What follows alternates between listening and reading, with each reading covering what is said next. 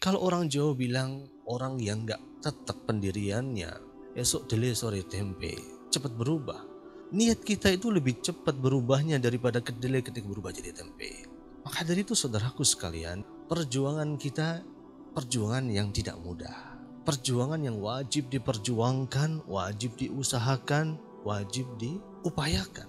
Meluruskan niat kita hanya untuk memenuhi panggilannya. Allah Maha Tahu.